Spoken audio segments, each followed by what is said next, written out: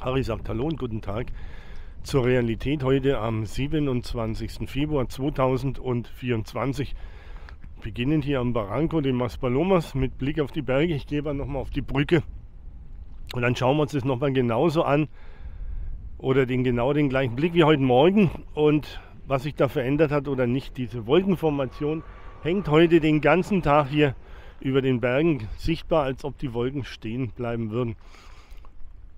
So, wir gehen ein bisschen. Die Anlage hier drüben, auf dieser Seite hier, was ihr jetzt seht, das ist eine wunderschöne Bungalow-Anlage und hier beziehungsweise nebenan, da ist ein Bungalow zu vermieten, langfristig, für ein Jahr oder mehrere Jahre.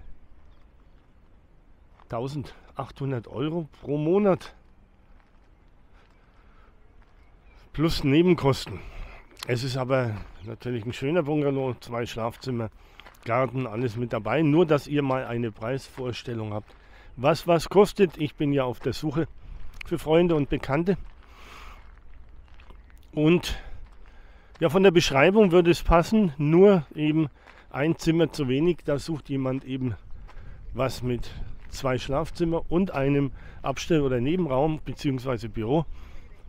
Und für die anderen Bekannten, da ist das zu teuer vom Preis. So, also nur zur Info, wenn ich was habe, dann sage ich es euch, weil ihr viele neugierig immer wissen möchten, was was kostet. Zum allgemeinen Verständnis, nochmal immobilienmäßig. Hier im Campo International gibt es in der Regel nur einstöckige Häuser, das heißt Erdgeschoss, die keine zusätzliche Etage und keinen Keller haben. Das wird in manchen Fällen auch anders ausgelegt oder ist umgebaut worden. Aber deshalb haben die Objekte hier ja auf der Quadratmeterfläche Grundstück, weil es nur ein Stock ist, eben weniger bebaute Fläche, wie wenn man zwei Stockwerke hat. Und insofern ist es dann häufig hier im Campo International teurer, wie zum Beispiel flächenmäßig umgerechnet im Playa de Ingles oder im Sonnenland. So, schaut euch jetzt mal hier die Wolkenformation an beim Riesenrad. Und wer das heute Morgen noch in Erinnerung hat, da hing diese Wolke genauso und ich habe gesagt, von Weitem schaut es so aus, als ob es da geschneit hätte, weil es eben weiß hell ist. Zu den Videos heute Morgen. Ja, ich habe das Video wie immer hochgeladen und auf einmal nicht sichtbar. Das heißt, ich habe es hochgeladen, die haben zu mir gezeigt, es ist alles in Ordnung, aber das Video war auf meiner Leiste nicht sichtbar.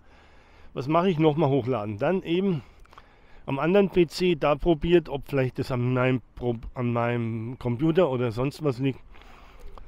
Dann habe ich Antje gefragt, die hat das gleiche gemacht auf ihrem Kanal, auch nicht sichtbar. Das heißt, das Problem ist nicht bei mir.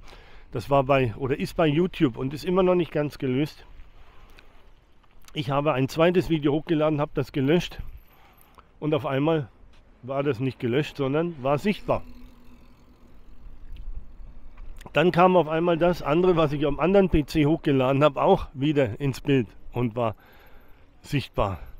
Aber man konnte nicht mit dem Tablet oder dem Telefon auf diese Videos zugreifen. Da waren sie in der Anzeige überhaupt nicht vorhanden. Ich kann euch jetzt nicht sagen genau, um was es da sich handelt oder was das Problem ist. Ich kann euch nur sagen, dass es ein Problem gab. So ist das eine Video jetzt, das Wettervideo einmal mit einem Titelbild sichtbar und mit einem anderen Titelbild. Ich lasse das jetzt so stehen, bevor ich da Schaden anrichte. So, das ist die kurze Info hier zu dem heutigen Tag. Das ist die Realität. Damit muss man sich eben auch rumschlagen. Es nützt nichts. Dann noch eine Sache. Jemand schreibt dann in den Kommentaren, ich würde das zu hektisch machen mit dem Plan B und nicht genau erklären. Ein anderer Kommentar heißt, ich rede zu lang über den Plan B. Ich sage es ganz einfach jetzt nochmal. Wer was wissen möchte über den Plan B, der bleibt am Ende auf dem Video. Denn am Ende vom Video, da ist eine ausführliche und einfache und gute Beschreibung, was der Plan B ist. Der Plan B ist ein Reiseleiter, ein Reisebegleiter, ein Reiseführer für Gran Canaria und wer Interesse hat, der schaut sich das ganz einfach an. So, weiter geht's. Wir fahren heute ein bisschen. Und ja, zum Thema, wo kann man hier wohnen? Vielleicht noch ein bisschen Info unterwegs beim Fahren.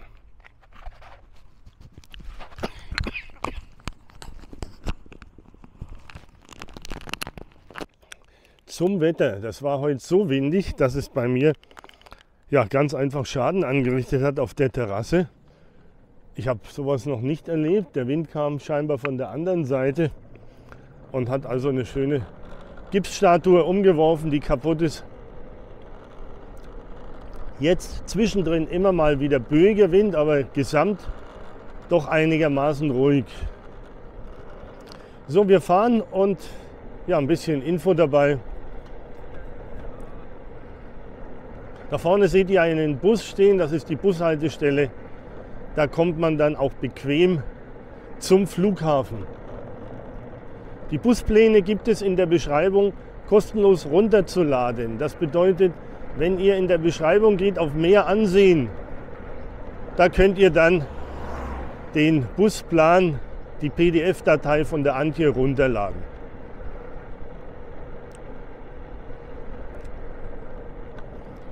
Die Busse, die zum Flughafen fahren, die brauchen in der Regel ein bisschen länger in Playa de Ingles, weil man eben mit dem Gepäckraum auch ein bisschen Wartezeit hat.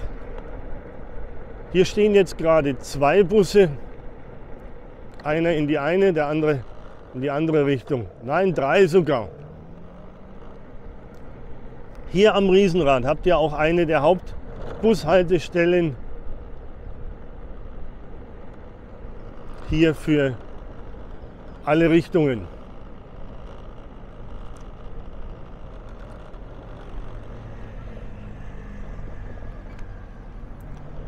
So, wir fahren jetzt heute mal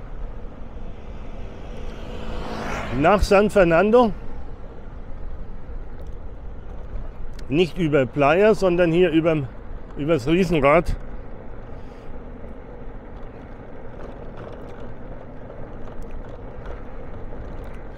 Vor uns die Anlage Sonora Golf. Auch hier gibt es im Moment zwei Angebote. Einmal, also ich weiß nicht genau, aber einmal ganz sicher nur für äh, Saisonvermietung, also das heißt fürs kommende Jahr.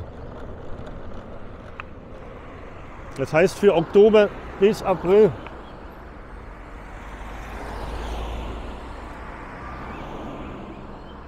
Was hier los ist manchmal, Kaum zu glauben.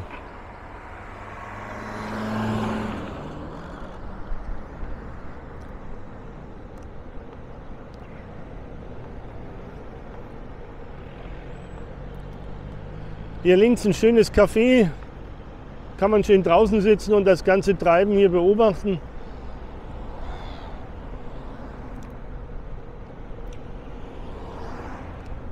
Frage, die häufig kommt, wo die Rennfahrer herkommen. Nein, nein, nein, nein. Frage, die häufig kommt, wo kann man denn hier touristisch unterkommen? Das heißt für 14 Tage hier zum Beispiel in Koala. Ich zeige es euch nochmal. Es gibt ein separates Video davon, deswegen halte ich da jetzt nicht groß an.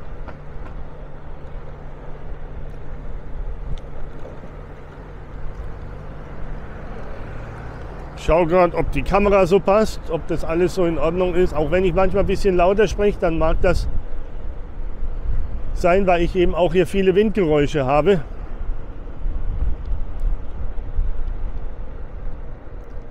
So, hier rechts rein. Restaurant Koala. Und jetzt geht es hier an dem Kreisel rechts. Hier geht es nur in eine Richtung. So, und gleich wieder hier wir fahren um die Anlage rum, da könnt ihr touristisch unterkommen. Hier habe ich Gäste gehabt, die haben hier gewohnt im Urlaub und haben sich dann vis-à-vis -vis in der Anlage ein Bungalow gemietet für ein Jahr und das geht jetzt ab äh, April oder Mai geht es los. Also nochmal. Hier heißt es Livo Koala Garden. Extra Video schon gemacht. Die haben hier 14 Tage gewohnt. Denen hat die Gegend gefallen. Das ist auch noch hier vorne. Gleiche Anlage. So, und die haben sich dann hier alles angesehen in den 14 Tagen und sind dann hier in der Anlage fündig geworden. Das heißt, hier haben sie dann einen Mietvertrag abgeschlossen äh, über ein Immobilienbüro. Weil ich habe da extra nochmal nachgefragt, habt ihr das privat gemacht? Nein, wir sind dahin. Und da haben wir dann erfahren, dass ein Immobilienbüro hier ein äh, Bungalow, ein Apartment, rein Bungalow anbietet. Und sind wir in das Büro und haben den gemietet. So, das heißt, die haben den auch vorher gesehen. Die waren da drin. Die haben sich von der Lage, von der Umgebung und von den Gegebenheiten ein Urteil gebildet, haben bestimmt eine Anzahlung gemacht und haben sozusagen den unterschriebenen Vertrag daheim.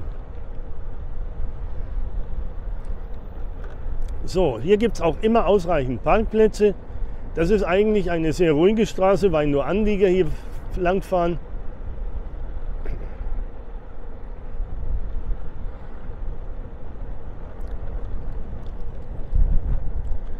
Jetzt zeige ich euch auch noch, wo ihr dann auch noch mal privat unterkommen könnt. Entschuldigung, touristisch.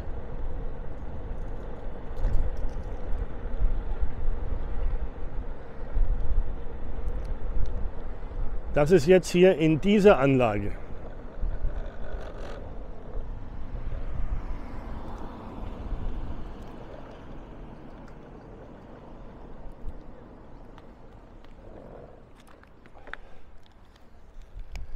In dieser Anlage könnt ihr hier Urlaub machen. Turbo Club heißt das, ihr müsst suchen, wo es den Reiseveranstalter gibt. Das sind Bungalows auf zwei Stockwerke. Hier geht es erstmal den Keller runter zur Rezeption und dann geht es wieder nach oben zum Pool. Also hier die Möglichkeit, ihr seid hier ganz nah am ehemaligen und wiederkehrenden Wochenmarkt.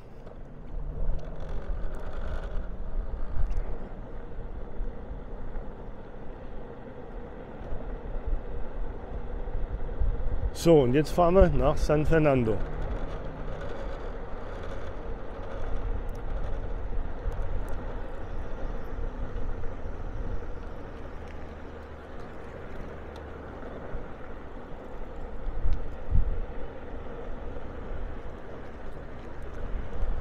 Hier ist das kleine Stadion, sage ich, die kleine Bühne, Campo, Sportplatz, Begegnungsstätte, Freizeitpark.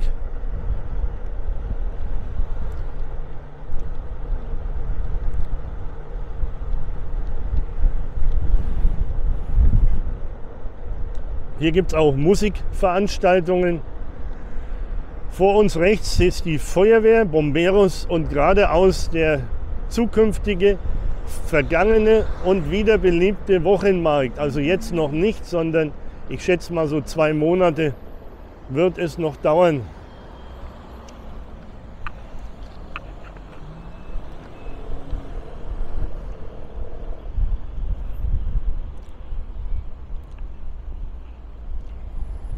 Ich halte mal schnell an und zeige euch das.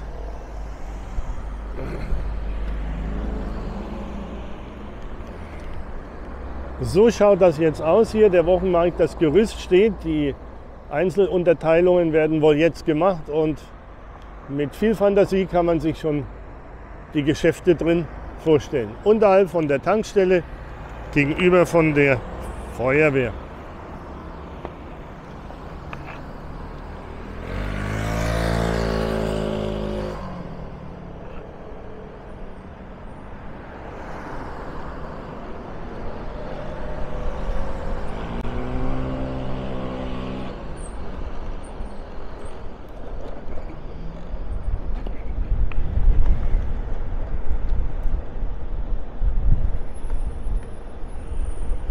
So, hier geht es den Berg nach oben, hier geht es nach San Fernando.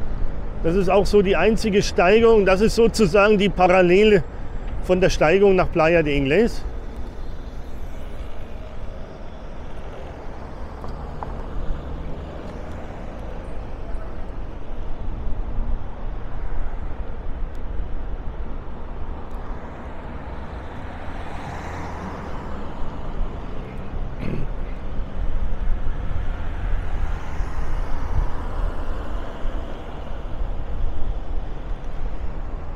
Ja, mit dem Fahrrad schon ein bisschen schwierig, aber nicht unmöglich.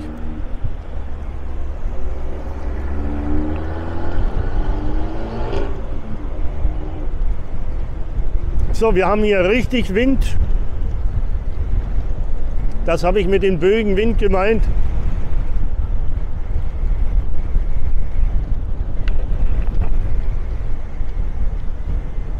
Das ist wie aus heiterem Himmel, zack,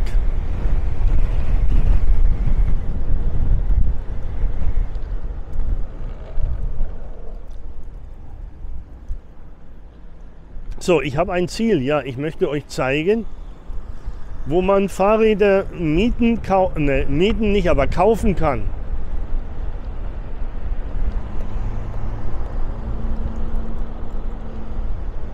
Hier auch Bushaltestellen aber nicht sehr häufig frequentiert.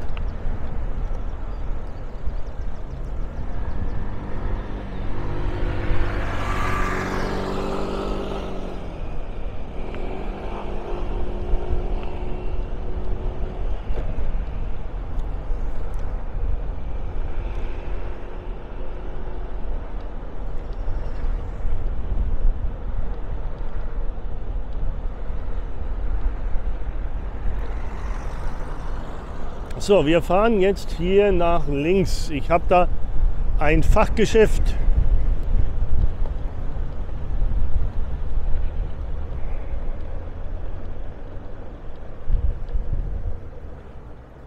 Man nennt diese Eisenwarengeschäfte Handwerksläden Ferreterias.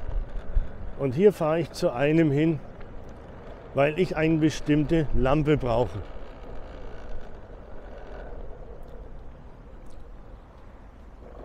So, man würde sagen, ein Tante Emma Laden.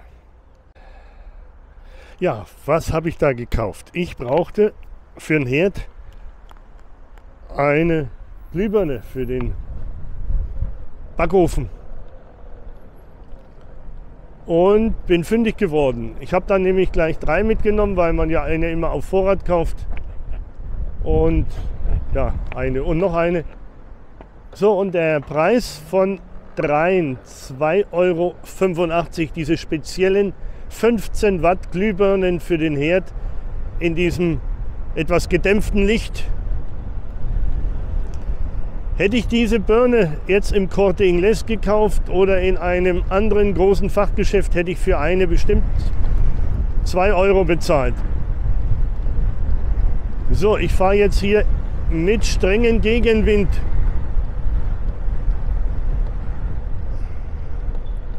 auf einer Straße, die viele Schulen und Kindergärten und so weiter hat und deswegen 20 hier erlaubt.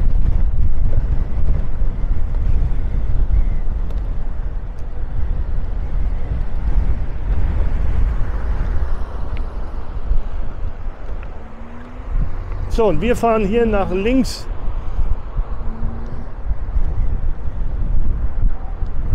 Jetzt fahren wir Richtung Fatarga. El Lomo San Bartolomé di Tirajana. Und jetzt fahren wir zu Kamikaze. Der Aussichtspunkt Tunte hier. Nach ein paar Kilometern habt ihr den besten Blick auf den Süden von Gran Canaria. Bevor es aber soweit ist, da fahre ich nicht hinein.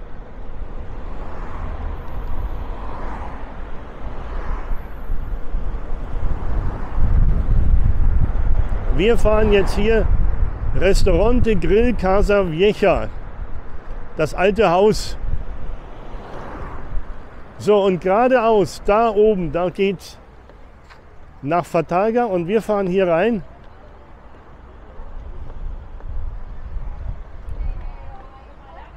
Hier ist das Restaurant, Bar, Restaurant Grill Casa Vieja. Also hier kann man gut sitzen, hier kann man gut essen, hier kann man sich auch gut laut unterhalten und leise auch. Hier ist immer was los, am Wochenende sehr viel, Reservierung wird erbeten. Hier ist die Raucherecke hier außen. Ich zeige euch mal, wo wir hier sind.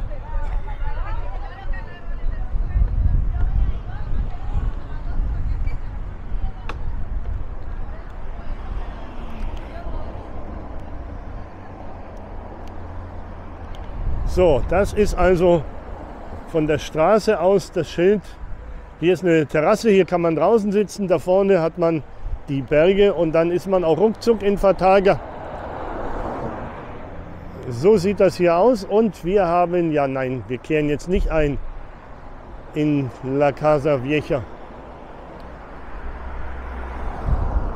Wir gehen hier hin. Kamikaze Bike.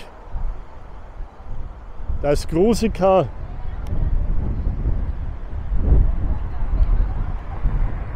Und wo ist Kamikaze? Ich zeig's euch.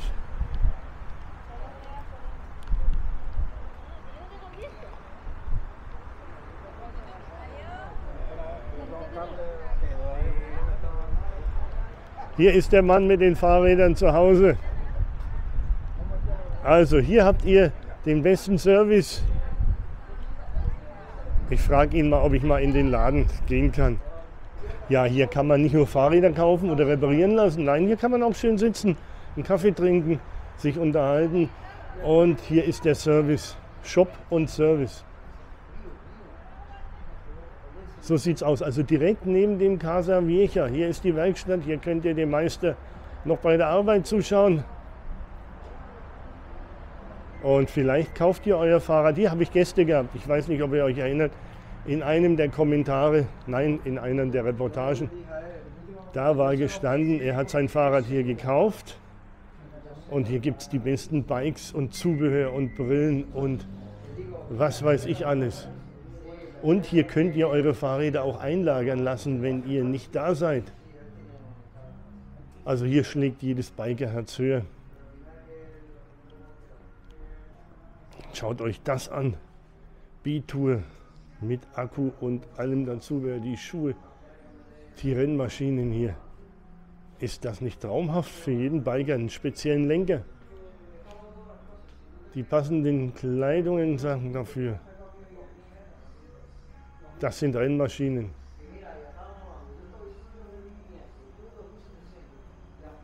Ja, und das ist einer, der steht immer mit Rat und Tat zur Seite, auch wenn ihr euer Fahrrad nicht bei ihm gekauft habt. Ja, selbst ich bin da fündig geworden, beziehungsweise hatte ein Problem mit einem defekten Radlager, Tretlager und musste dann ganz einfach sagen, entweder aufgeben das Fahrrad oder reparieren lassen. Und da hat er gesagt, meine, das kriegen wir doch hin. Und er hat es hingekriegt. So, also jedes Bikerherz hüpft hier nach oben. Das ist doch mal ein Laden. Gute Musik und wenn ihr wollt, gibt es sogar einen Kaffee und nebendran könnt ihr essen und könnt euch dann da auch ein bisschen ein bisschen unterhalten beziehungsweise hier so das war jetzt die Runde hier beim Mr. Kamikaze. Also, nochmal die Empfehlung, wer was braucht, fahrradmäßig qualitativ hochwertige Fahrräder. Hier kriegt ihr nicht sowas Billiges aus dem Supermarkt. Das gibt es hier nicht. Ja, dann fahren wir weiter. Ich nehme euch noch mit zurück.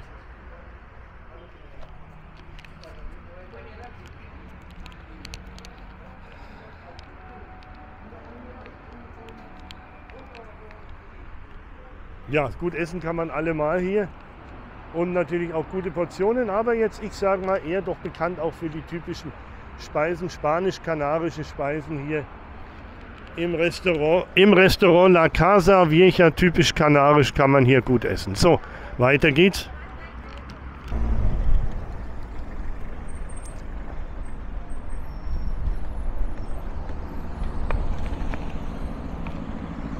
So, weiter geht's. Wir fahren wieder zurück.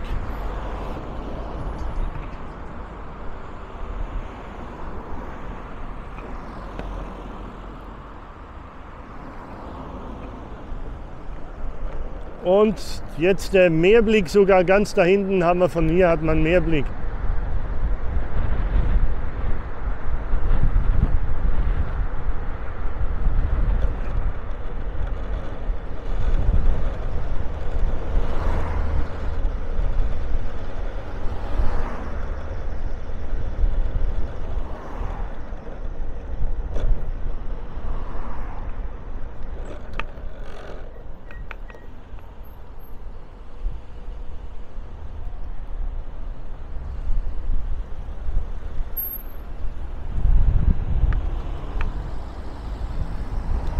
Ja, wenn wir schon Roller haben, dann sind wir auch ganz flexibel und schnell im fließenden Verkehr.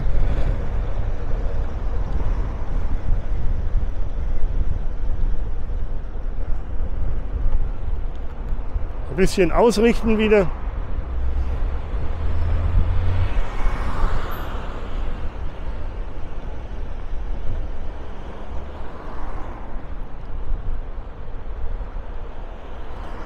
So, wir fahren jetzt hier wieder Richtung Zentrum Playa de Ingles. Erstmal San Fernando.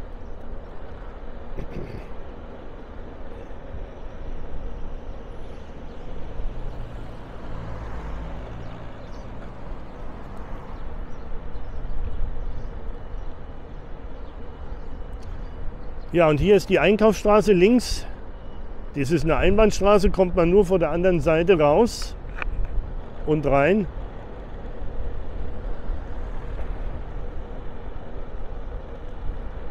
Hier die Bushaltestelle.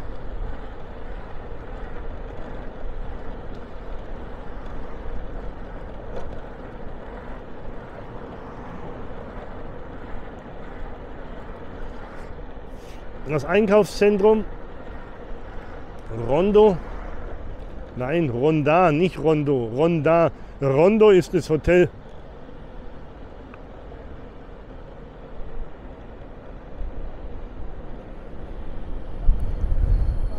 Da vorne ist der Burger King. Und da habe ich mich ja auch richtig vertan. Da habe ich mir was erlaubt. Da habe ich gesagt, da wird so viel los sein auf der Straße. Da werden die Autos parken, stehen. Und da werden die die ganze Straße verstopfen. Da ist nichts los. Also ich habe gedacht, dass der viel besser frequentiert wird, weil der ja auch einen Parkplatz hat, Autoparking oder Essen zum Essen fahren. Aber dem ist nicht so.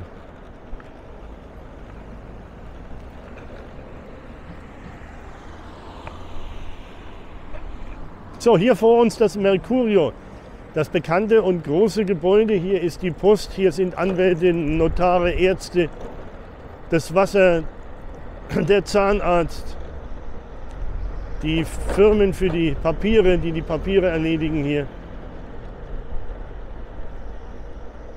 Und wir fahren jetzt hier rechts und dann kommen wir zum Aussichtspunkt, zum Mirador de Maspalomas.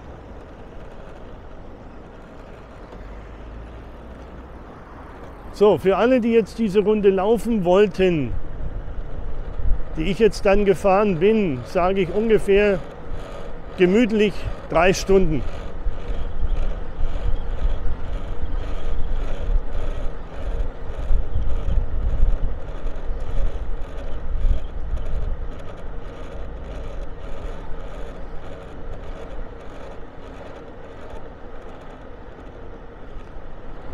Ja, hier wieder weniger Wind.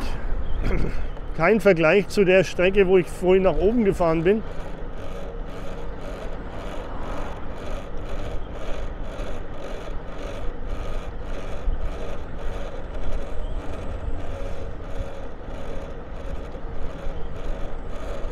Und gleich haben wir ihn wieder, unseren Aussichtspunkt.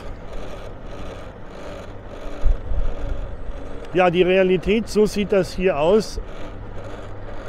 Nicht am Strand, nicht am Wasser, das waren wir ja heute Morgen. Der Bus biegt ab hier zum HD Parque Cristobal. Schöne Anlage, schöne Bungalows, viel Grün dabei, kann man nur empfehlen.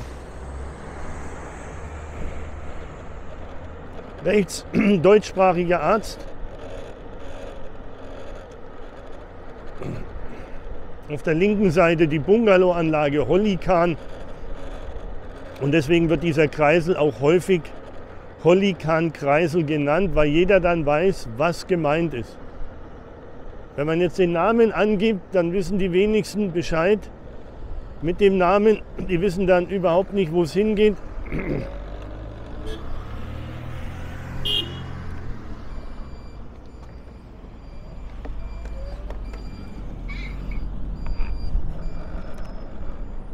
22 Grad.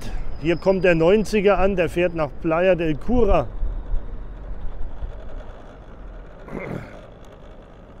So, mal schauen, ob der anhält. Der hält an.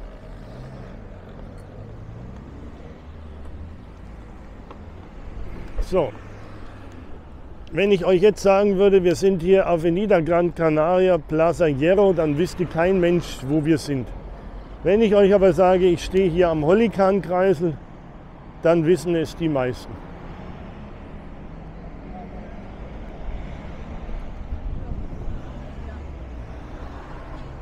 So, ich kann mich noch nicht drehen, da sind noch zu viele Menschen hier. Wir schauen gleich mal nach unten.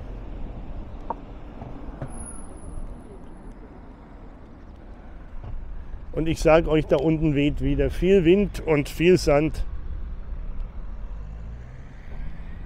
Das sieht man von hier oben schon ganz deutlich.